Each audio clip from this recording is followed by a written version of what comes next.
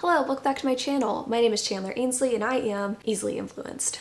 Now, if you missed the first video, this series is all about me being susceptible to marketing, internet or otherwise. In the first video, I decided to take book recommendations from TikTok that had just been kind of like languishing on my Goodreads TBR, and uh, in this video, I'm going to be reading books that Target made me buy. So recently, I was at a Target that I don't normally frequent, and I decided that I was going to stop by their book section. But with the current pandemic, I haven't been to a proper bookstore in quite a while, so I rely on Target to fuel my book-related impulse purchases. And what did this lovely Target put in my lap? This picture. Behold the beauty of all of these pink and red books. Never before at a Target had I seen quite so many romances in one place. My Target usually just gives me one small town romance and the hating game and says, here, have at it. But this Target really answered my prayers. She knew that I was in need of a good romance and she gave me not one but five beautiful pink and red romances. And you can bet your ass I threw all five of those into my cart and swiped my red card for an additional 5% off. So in this video, I'm gonna be reading these five books and I'm gonna see if my impulsiveness paid off. So let me briefly tell you guys about the five books that I picked up and then we can get into the vlog portion of this video. So first up we have Ties That Tether by Jane Igharo. This is one that I'm super excited about. It is about our heroine who is Nigerian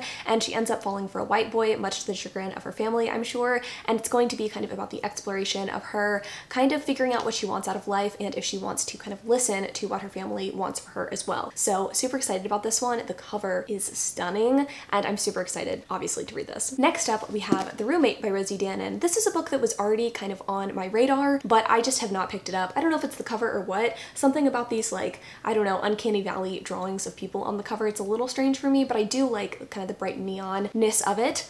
Uh, but this story is about two kind of unlikely roommates who don't know each other before they become roommates. And I believe our hero is in the adult film industry, which I think could be super interesting to read about. So excited to get to this one. Next up, we have Pretending by Holly Bourne. This is one that was not previously on my radar, but I have read a couple of other books by Holly Bourne in the kind of young adult age segment, and I really, really liked those. So I'm curious to see what she does in an adult contemporary romance. But this one I think is about our main character, April, and she kind of pretends to be someone else, like a cooler version of herself, as she online dates. And I think it's about her kind of reconciling this personality and persona that she's putting on with her real life desires and her real life personality. So this should be an interesting read. I haven't read anything like this before, and I think that this could be an interesting look at kind of like online dating. Next up, we have Last Tang Standing by Lauren Ho. I am super excited for this one. I mean, first off, the cover is giving me all of the crazy rich Asian vibes, which I'm adoring. And this one is about our main character, Andrea, who is Chinese Malaysian. And again, much to the disappointment of her family, she is unmarried at 33. So this book, I believe, is about her trying to kind of like find a match or maybe her family trying to find a match for her. I didn't read like super into the synopsis, let's be real, but I'm excited to get to this one and kind of get to the bottom of like what the story is truly about.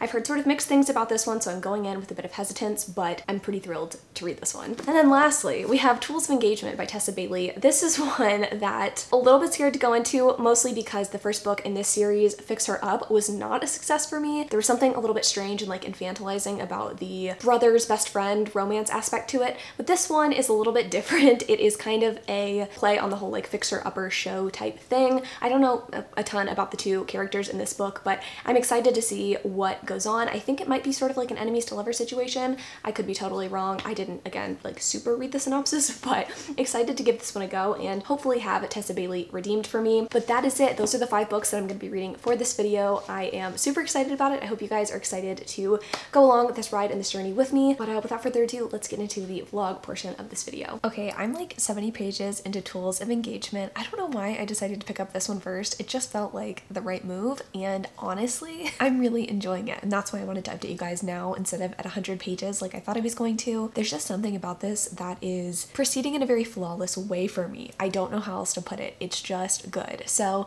the two main characters in this story are Bethany and Wes. And Bethany is older than Wes. She's like 31 and he's 24. He has recently come to Long Island to take care of his niece because his half sister basically abandoned his niece or was like, hey, can you come and watch her for a little while? And, you know, he said, yeah, sure, I'll come do that. And then he just hasn't heard back from her. So in the meantime, he is working at Bethany's family's construction company. And Bethany is this like kind of high high-powered house flipper, I guess. She doesn't really do the construction side of things. She just stages the homes and it's always been her mission to be able to finally get to flip her own home. Not her own home, but flip a home by herself essentially without the help of her brother, Steven. And Steven is not really like excited about the prospect of Bethany getting to do this herself. He definitely kind of looks down on her, but just doesn't think that she can do it. And I think that that might be a uh, familiar sentiment for a lot of people having like parents or family members not necessarily believing in you, which can be really frustrating. So Bethany gets the permits to this really dilapidated old house and her mission is to flip it. And Wes used to work for Steven, but he volunteers to work with Bethany because he is really into Bethany and he's like, you know what, she needs help, I'll do it. And that's sort of how the story has kicked off. We get this really playful banter between Wes and Bethany and really early on too, we get really great characterization. I've just been so impressed by it to be honest.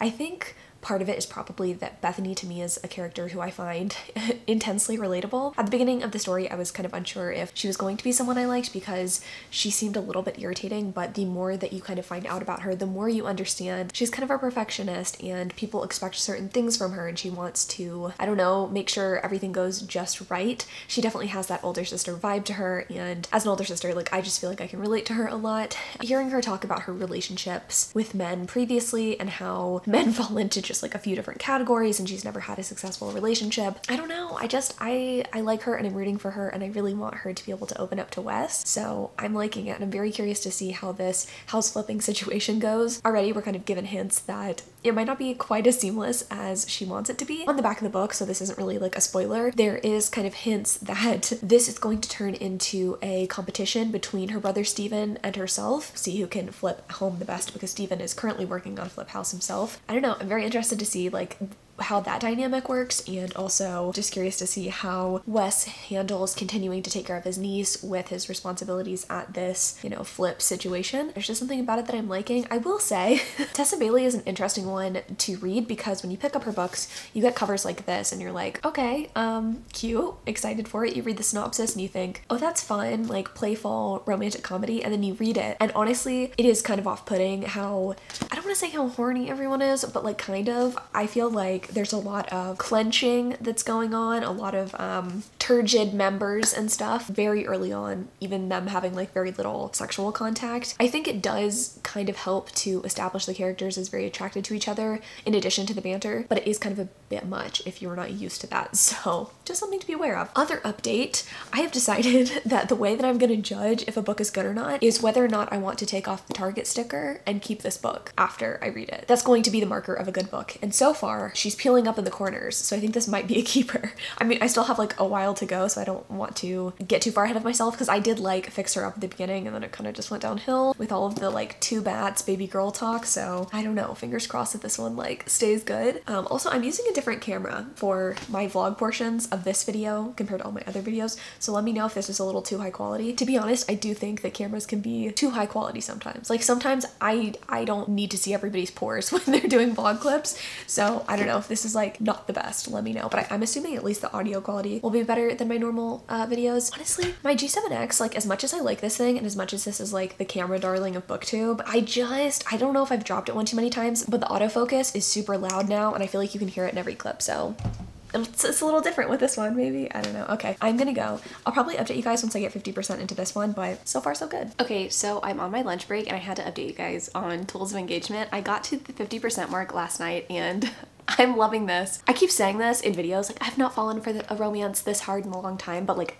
I fucking mean it with this book. It is so good. I feel like having just read The Hating Game, I'm not saying these books are similar, but I am saying that I feel like this is going to take the place of The Hating Game in terms of like favorite traditionally published romance that's kind of like quirky and fun. Um, I just, this is good. This is good shit. Okay, so I don't want to talk too much about the plot, but we've kind of started getting into the fixer-upper like flip situation and we really get to see kind of the cracks in Bethany's facade a little bit more and how you know, she is this very stressed out, anxious person, this has, in my opinion, a really incredible anxiety rep. It doesn't specifically say that she has anxiety or OCD or anything like that. I would say she probably has anxiety though, just from the actions that she's taking. She's very particular. She doesn't want to look like she's not tough and like she doesn't have it all together. And I don't know, I just find that intensely relatable. And just getting to see her like fully trust someone or like start to fully trust someone is really, really great. I think something that I didn't point out before is that Wes in this book is someone who is so perceptive. And I think that's something that is so underrated in romance. I feel like so often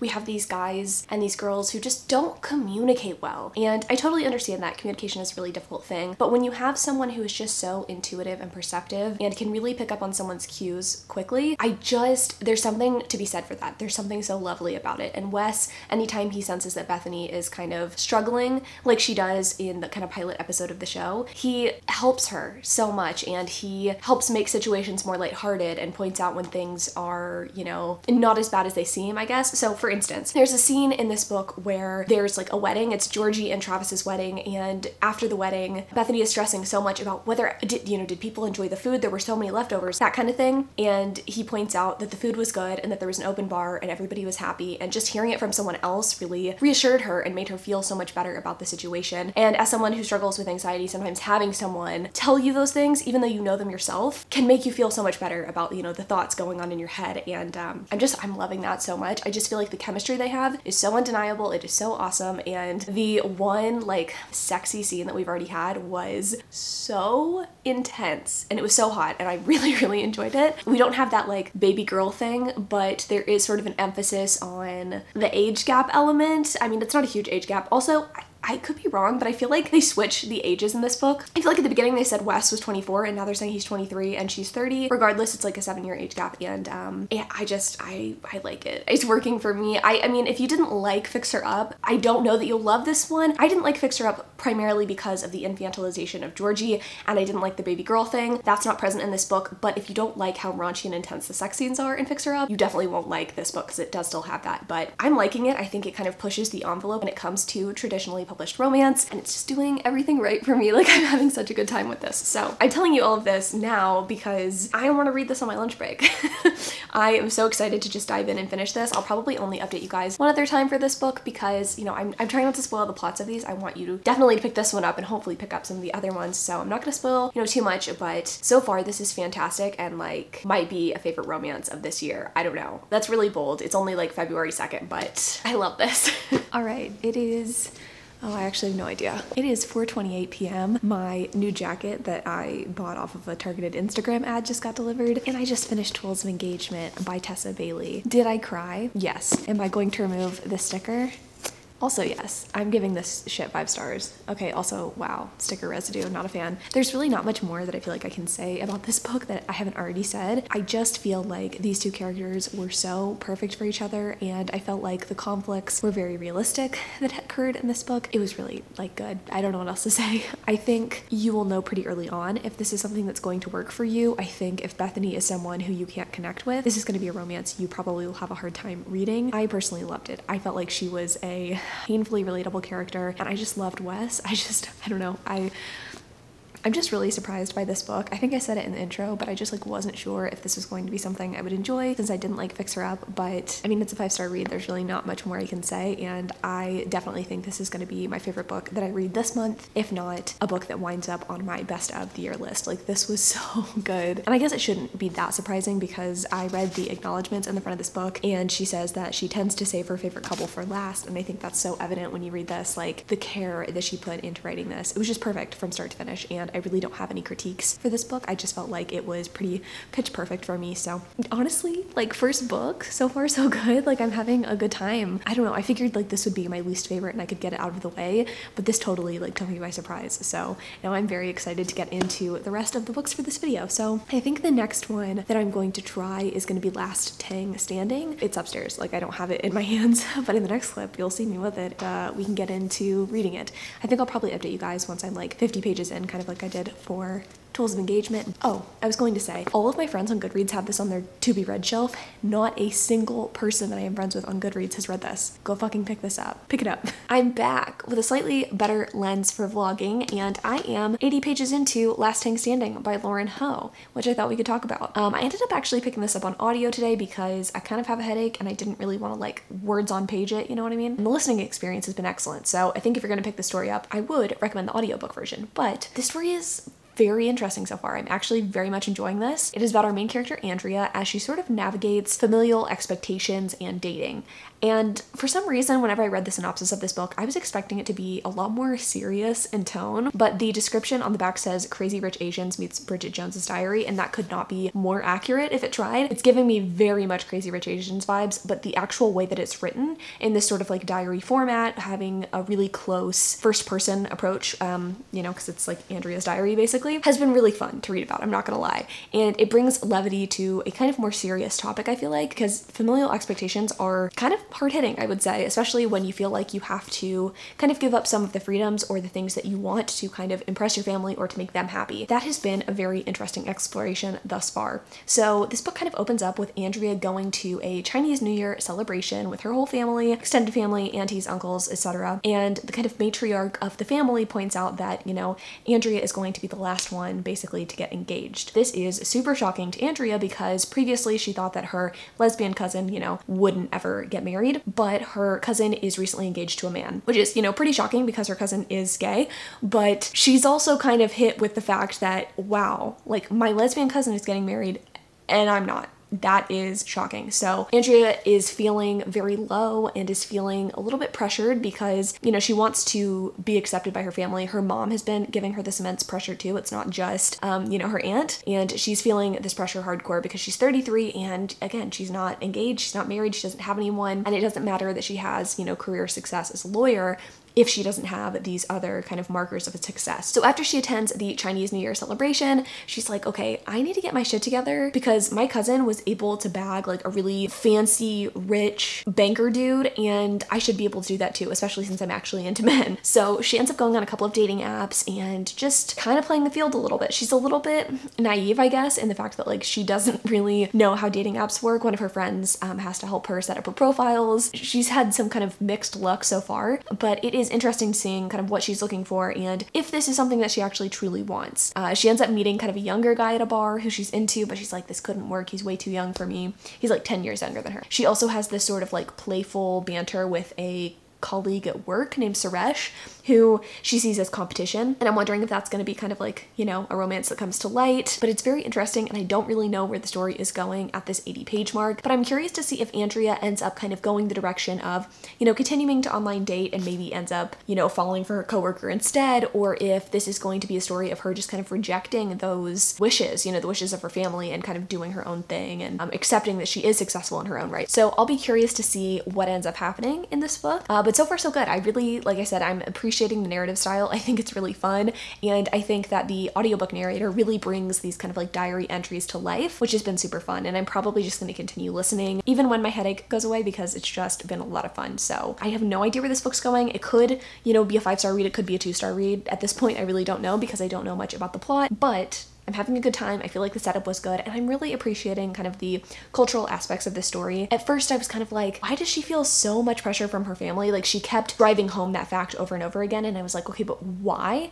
And she does end up explaining that too, and so it makes a lot of sense, and it is, it's just, it's interesting to learn about a culture that is, you know, quite different than mine. So overall, this is really good. I'm gonna keep reading. I'll probably update you guys at like the 50% mark when I have more of an impression on kind of where the story is going. Okay, so I just finished Last Tang Standing by Lauren Ho, and sadly, I don't think I'm going to be removing the Target sticker on this one. This was not an unenjoyable read. I just don't think that it accomplished what it was setting out to accomplish, at least I think. This is definitely not what I would consider a romance. There's definitely a romance at the heart of the story, but it doesn't conclude in a way that was like super satisfying, especially like if you were going into this for romance, like I don't think you're gonna be happy with what happens. And then on top of that, I just feel like there really wasn't much growth on the part of Andrea. I think this book is like a hard one to recommend because sometimes characters, and honestly, I felt this way about Tools of Engagement. When you have a main character who is so specific and has such a bold personality type, I think it can be a little off putting for romance readers because a lot of the time you just kind of want to self insert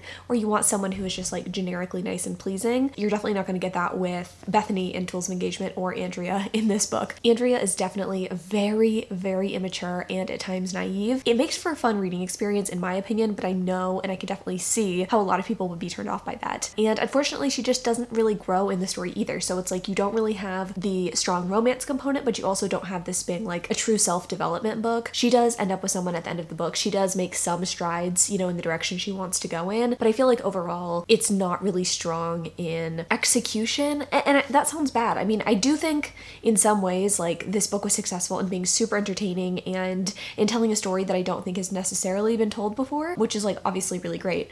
I just, I'm a little bit sad that this didn't take like a strong enough approach to kind of any of the components. There were a lot of different components to the story. There were friendships, family relationships, family expectations, romance, career. Like there was a lot going on. I just wish it had kind of not stuck to one thing, but that one of the things had been really strong at the end to where I could more strongly recommend this book, you know? Because I know not everybody is like looking for a really strong romance. Some people like kind of the more chick lit, not self development, but you know, character growth type novels. And, and this didn't have that either. So I don't know. Mixed feelings. It was enjoyable and honestly, like I wouldn't hesitate to listen to this audiobook again. So that's like part of the reason why I don't think I'm going to be keeping this particular, you know, physical copy of this book. But think if I were to rate it, I would rate this book three stars. It was like honestly fun and I don't regret reading this book. I just wish that there had been something just more there. And honestly, if it were me, I would have preferred that to be the romance because I did like the two characters and how they ended up together, but I just wanted more there, especially at the end. So that's sort of where I'm at. And I honestly don't know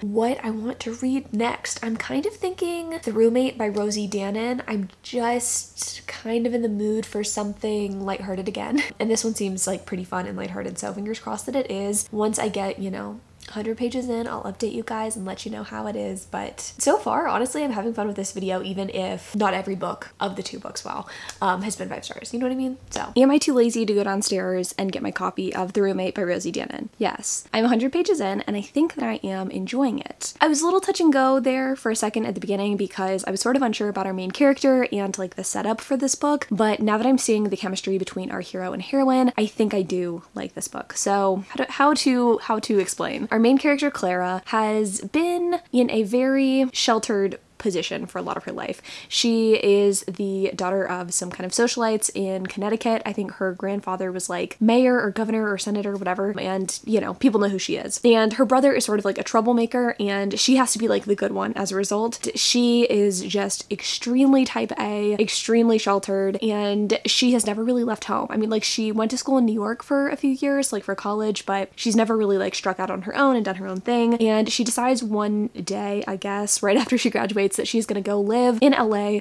with a childhood friend who she's had a crush on forever. He's like, hey, you can crash at my place, you can rent a room, it'll be like a cool situation. And she decides that she's gonna jump at it because she's had a crush on him forever. Unfortunately, this guy, Everett, is actually gonna go on tour and he's renting out his own bedroom. Clara has to live with a guy that she has never met before, kind of navigate that roommate situation. Her roommate, Josh, is a really cool, laid back guy, and he is in the adult entertainment industry. And it's interesting seeing kind of the juxtaposed um, personalities and like jobs and stuff that both of them have and how they kind of play off of each other. That's, I think, what I've been enjoying the most is seeing their interactions and seeing her candor, I suppose. I was expecting, since she is this sort of like very, very, very type A, like laminated her packing list kind of person, I was scared that she would be a little irritating and like closed off. And she is a little irritating, but I do like that she has been very straightforward with Josh this entire time. Like, I think it's been fun to watch. There's a scene where she ends up finding out that he is in the adult entertainment industry. He doesn't actually tell her. So she decides to like go home and do research and kind of see what Josh does.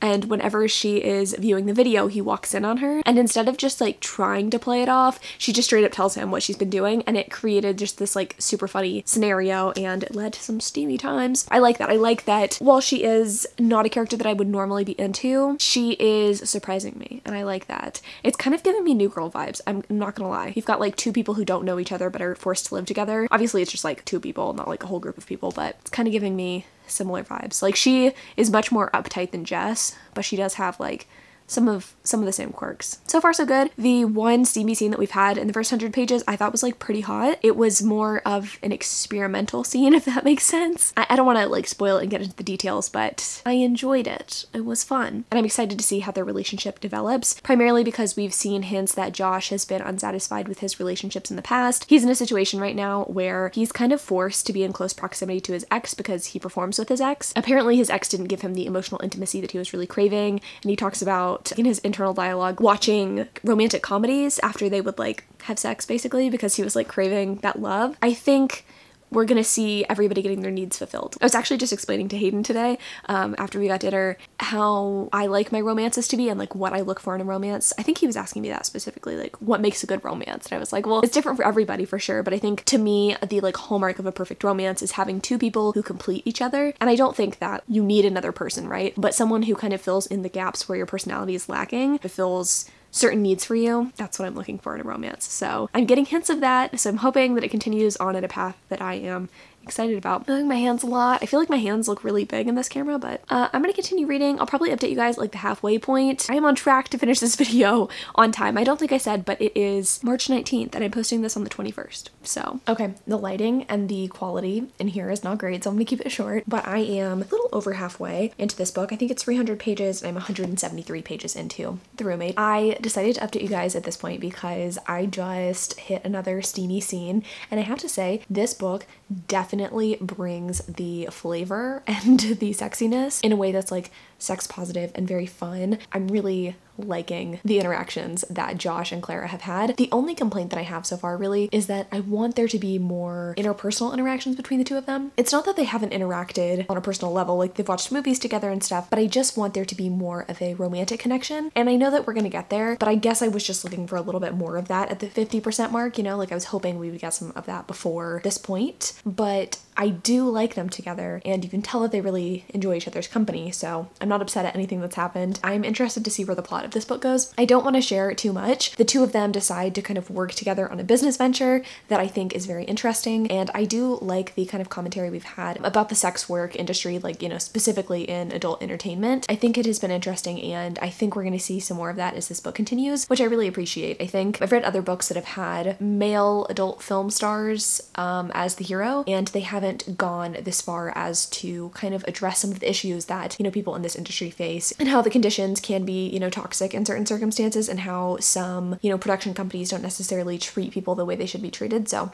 I don't know, I'm liking that aspect of it too. I'm learning things that I didn't already know about this industry, so I appreciate that. Clara is definitely growing on me too. I mean, sorry, that was kind of a weird transition. I'm just trying to share some more things that I liked, but I am enjoying Clara's character more. I do think that she is becoming more relatable in a sense. I like that she is getting to be more sexually liberated as this book goes on. I think it's something that perhaps a lot of women could relate to, not having experience with their bodies necessarily and, you know, learning as time goes on with like the right partner and also self-exploration. So I appreciate that. I'm gonna finish this book. I'll update you guys when I'm done, but uh, so far I'm having a good time. Well, hello. It is Saturday, March 20th at like 5.30 and I just finished The Roommate by Rosie Danan. Probably should have finished this earlier. I got kind of a slow start to the day. Uh, I got my hair cut, rocking the curtain bangs. I don't know. I'm just, I'm, I'm enjoying these books slowly. I'm savoring them. Smart girl that I am, I did check out uh, the next two books in audio format. Okay, why? How come every time I film they decide to get on the bed? Anyway, this is super chaotic. Let's talk about this book. Let me finish up this clip and then we can move on to the next book. I think I'm gonna give this four stars. I do think I'm going to remove the Target sticker because I enjoyed this. I thought it was fun. I don't know that this is like life-changing or like the most amazing romance ever. I definitely think there were sweet elements. I did end up really liking Josh,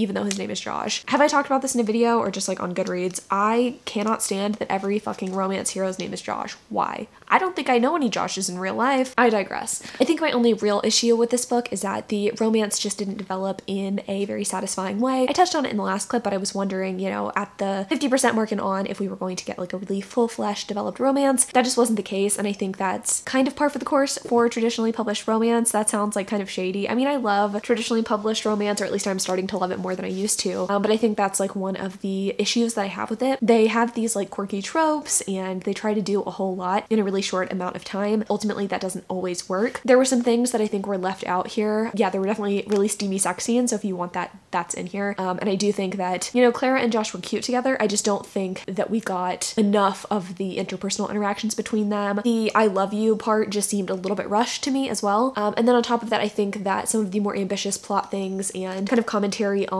sex work and on the adult film industry kind of was lacking. They tried to pick it back up at the end and it just didn't really ultimately lead really anywhere. It felt lazy and also I think the conflict with Clara not wanting to be the public face of this project or whatever. I don't want to like spoil what the project is. It, it didn't really go anywhere either. Like we, we thought her parents were going to be mad at her, but she barely has any like interactions with her parents at all throughout the story. So I don't know. Uh, I, don't, I wasn't convinced by the epilogue either. That sounds, I know I'm saying a lot of negative things. Um, I did enjoy this book. I did think it was fun and I do think there's definitely a place for this on my shelves. I just don't think this is like a new all-time favorite, which is why I'm giving it four stars. Again, it was like more developed romance-wise than Last King Standing, but it still wasn't like perfect. So anyway, enjoyed this, had a good time reading it, and I'm glad I read it because it is, you know, such a popular title, but I'm ready to move on to my next book. And again, I don't have the next book with me because I'm too lazy to go and get it, but I think I'm going to start in on Pretending by Holly Bourne. Again, I think I said it in the intro to this video, but I'm excited for this one because the one like young adult title that I've read by her was one of my favorite young adult contemporaries ever. So I'm curious to see what she does with an adult title.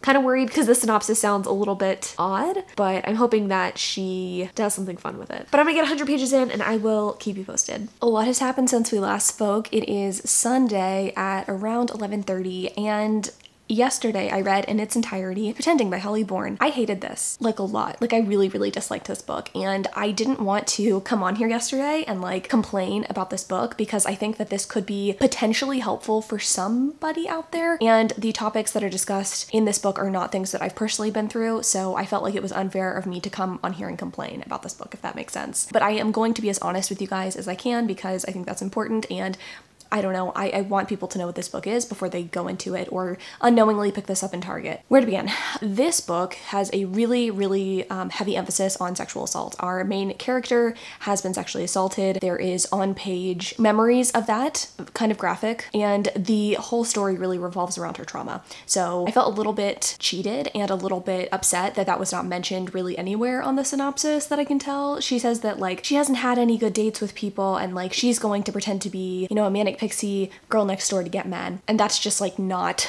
a good description of this book. Like that's just not what this is. It is about our main character, April, who has been assaulted and she has had really bad luck dating men because they don't seem to care very much about her or her experiences. And as a result, she kind of hates all men. She decides that she is going to catfish men instead and pretend to be someone she's not and maybe she will find the luck that she is hoping to have with men. The the tone and the way that the topics were handled in this book were, were deeply unsettling to me.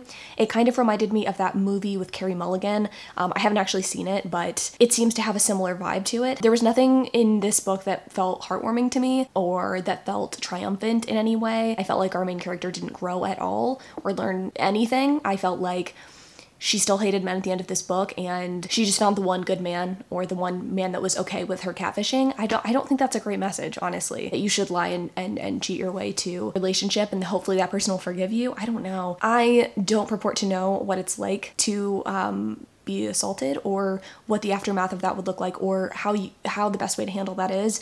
I just know that like the way that she handled what happened to her was not healthy and I think she realizes that, you know, maybe a little bit at the end of the story, but it was really really hard to read. And the reviews for this book are pretty mixed. A lot of people were also saying that this book is almost identical to this author's like previous work. I don't know. I'm I am I, I don't even know how to feel about this book to be honest. Like it made me feel icky the entire time I was reading it. And I mean, I think that's part of what, how you're supposed to feel. But I think I, I think what I'm trying to say is that I just don't understand who the audience for this book is. If you're looking for like a funny, tropey romance, this absolutely is not that. This really is not a romance in my opinion. And I think if you're someone who has been through what this character has been through, this could be really, really triggering to you. I don't think it would be something that would be like cathartic and healing to read either. So like I, ju- I just don't know what the purpose of this book is. I feel bad saying that because again, maybe this will speak to someone, but it really didn't speak to me and I'm upset that it didn't mention anywhere on the back that like this is what this book is about. I like I'm looking in here and I'm not seeing any like trigger warnings anywhere and I'm just like I don't want to talk about that book anymore. I don't. I really don't. I would prefer to talk about Ties That Tether, which uh still not the best um sadly like this video has gone downhill. Let's just let's just like put it out there. I'm trying to stay upbeat and positive because i have some fun stuff that i'm doing after this video is being done filmed but wow these last two books are really hitting me. So again this is a case of i really wish that the important things in this book had been mentioned in the description of this book. I think it's irresponsible in a lot of ways to make these uh, things plot twists or to make them something that is included in i don't know how to say okay i'm just going to tell you what happens. Our main character gets pregnant after a one night stand and I can also tell that there is going to be some mention of pregnancy loss and maybe death of a loved one in this book. And it's upsetting to me that that's not really mentioned at all in the synopsis. And I understand that that's supposed to be like the plot twist of this book and like, oh my god, look at how she deals with this stuff. A lot of people are sensitive to like pregnancy, pregnancy loss, surprise pregnancy in stories, especially like if you're dealing with infertility. I'm sure that would be upsetting to pick this up thinking it's one thing and then it's like not at all what you expected. That being said, I'm actually enjoying the character relationships in this book. So this I just absolutely didn't like any of the characters or the plot. This I'm liking the characters and while the surprise pregnancy is irritating to me, I'm not actually not enjoying the story. So the story is about our main character Azere. Azere, I've got a, I am butchering the pronunciation of that I'm sure. Our main character Azere as she tries to kind of navigate the situation that she's in. She gets pregnant after a one night stand to a white guy and she's also being pursued by a guy from her past who's also Nigerian. She's Nigerian and her mom is like insisting that she marry a Nigerian man and her dad also said like don't forget your culture before he died. So she feels this like pressure to marry a Nigerian man. And I think that is an interesting enough plot. I think like I- am liking the kind of balance and the juxtaposition of like culture and responsibility and also independence and desire to live your own life. I, I don't know why I'm speaking on this as if I'm some authority. I'm definitely not but I'm enjoying that kind of aspect of this. I like her mother. I think her mother is like funny and interesting and I would love to hear like more about kind of the family dynamics because we've only gotten a little bit of that so far, but I'm hoping that we get some more. And then I'm actually liking Azere's love interest. I think he's going to be the one she ends up with, the guy that impregnates her. But yeah, I don't know. I don't know if I'm really doing a great job at like describing this book. I, like I'm just emotionally a little bit taxed after reading Pretending, but I am enjoying this. The audiobook is fun and I really do like the sort of relationship that Azere has with um, Raphael, I believe is is his name, because it's it's a lot more playful than any of the relationships that I've read in any, in any of these books. It's um, Um, I wouldn't say immature, but I just like the lightheartedness to the relationship. And I'm hoping that that does balance kind of the like surprise pregnancy aspect and then also the other stuff that I'm anticipating and also saw as trigger warnings in reviews. So I don't know how to feel. I guess time will tell and I guess we'll see how serious the other topics handled are and like if I think that it's like an appropriate inclusion in this book, given that it's not, you know, talked about anywhere on the description, but I'm rambling at this point. I honestly, can I be completely transparent with you guys? I think I'm just gonna update you guys one more time. I'm not halfway done with this book, but I don't have that much left, and I have a lot of other um, things that I want to do today.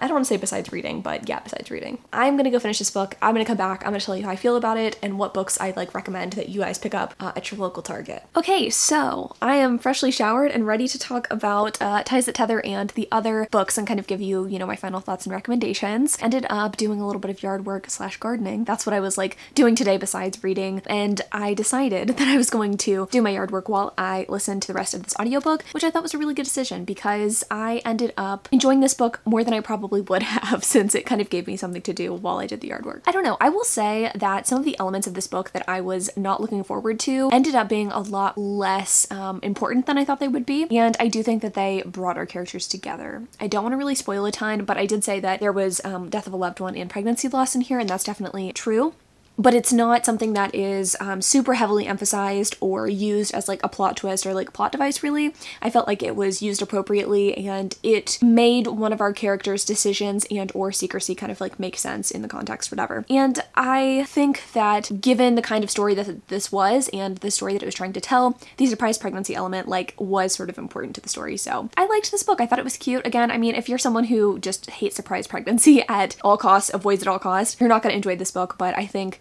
I was willing to overlook that because the romance was really sweet and I really did like Azere and uh, Raphael. So I liked this book. I don't have anything like super profound to say. I think if I were to rate it, I'd probably give it like a three and a half. I liked it a little bit more than Last Tang Standing. I, I compared the two because they definitely, you know, have that heavy emphasis on your family's opinions of your dating relationships. But I feel like this one was heavier on the romance, which I appreciated. I mean, I feel like when you pick up any of these illustrated covers, you never know what you're going to get in terms of, you know, is this a romance? Is this just like a rom com? Is this really, really dark and hard hitting? And they're just using the, you know, cover as a front to get you to pick the book up. In this case, it was romance, it was cute, and I did like it. So that is the last book that I'm reading for this video. Let's briefly go through what I did read. I feel like I have been doing this video for months. I mean, I, I absolutely have been doing this for months, but I want to give you guys like my final thoughts, my final recommendations. So my favorite book, obviously, that I read during this experiment was Tools of Engagement. I mean, this is definitely going to be a favorite book of the year for me. Since reading it and since doing some reflection, I can definitely see its flaws. It's very, very heteronormative and like it just feels aggressively straight. I did really like the relationship between Wes and Bethany though, and I just feel like it had that puzzle piece thing that I'm always looking for in a good romance. So I feel like if you see this at your local Target, maybe give it a go. I had a really good time reading it and I would not have picked this up had it not been for this video. So I'm really glad that I picked this one up. The next book I read was Last Lasting Standing by Lauren Ho. I had a really, really good time reading this. Honestly, I'm considering taking this Target sticker off. I'll decide after this video, but I'm actually considering taking the Target sticker off because I just look back on this with like fond memories. It was super fun and even though it wasn't super heavy emphasis on the romance, it was kind of fun just living in this world for a little while and I liked the escapist nature of it. Our main character Andrea is a little bit much at times, but I found her kind of endearing. So I really liked this. And again, I think this is one that if you're looking for something like kind of beach ready or you want like something for the summer, you're at Target, you see this, I would say pick it up. Next up, we have The Roommates by Rosie Danan. This one has a very different feel from all of the other books. I think it reads, I don't want to say a little smarter, but a little bit smarter. And I think if you are someone who likes the hating game or books that have kind of a mutual pining situation going on, I think this is one that you'll really enjoy. And I'm glad that I finally got to get to this in this video because this is like a pretty hyped romance, I would say. Um, hyped and yet underrated at the same time. So again, I would say pick this one up. Pretending by Holly Bourne. This is the only one I think in this video that I'm going to tell you guys maybe don't pick this one up. It just really wasn't for me for the reasons I listed and to be honest I just don't know who this book really would be for. If it interests you, if you like a little bit of cynicism, perhaps this could be a read for you. It just really didn't work for me. And then lastly we have Ties That Tether by Jane Igharo and I don't think I said but I am going to be removing the Target sticker on this one and keeping this for my collection. Honestly I think I'm going to keep all of these for my collection except for pretending because I just had a really damn good time doing this video. It was super fun. I'm having issues with the sticker, so I'm not gonna pull it off right this instant. But I just had a really good time filming this. It was fun. It was exciting. It was everything I wanted it to be and more. I wish I had some profound thoughts to share. I usually have some like bold wrap up at the end of these videos, but honestly, I was just reading books. I had a good time and I wouldn't hesitate to pick up more romances from Target in the future. I think they have a pretty solid selection. Anyway, that's it. My easily influenced ass, you know, had a good time. When I read TikTok romances, not so much. If you haven't watched that video, I'll leave it in the description down below or in a card if I can remember to do a card. But I'm looking forward to doing more of these in the future. Painfully easily influenced and, uh, you know, sometimes it does pay off. Thank you guys so much for watching. I love you guys so much and until next Sunday.